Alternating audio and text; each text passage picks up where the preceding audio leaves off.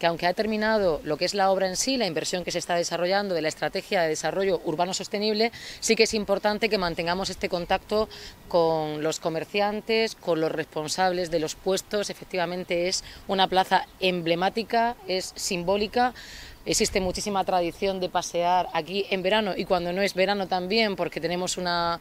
una temperatura maravillosa y pasear por la manga o vivir en la manga es un auténtico lujo, pero tenemos que dotarla de los mejores servicios, modernizando todos los servicios para que tengan también los vecinos ese uso que merece la manga y esas inversiones que siempre se han reclamado. ¿no? Yo quiero agradecer la apuesta que se está haciendo con los fondos europeos y con la estrategia de desarrollo urbano sostenible, con toda la complejidad que tiene la ejecución de los fondos europeos, porque sin duda el resultado de la obra es bueno. Se moderniza esta plaza, se mejora con la eliminación de obstáculos, con la mejora de la iluminación, la mejora del aparcamiento, es todo mucho más accesible, es todo mucho más favorable, tanto para los empresarios como para los visitantes. Buenos días. Pues hemos venido a inspeccionar la visita final de, las obras de remodelación de la Plaza Bohemia, que se enmarcan, como saben, en el programa La Manga 365 y más concretamente en el subprograma La Manga se disfruta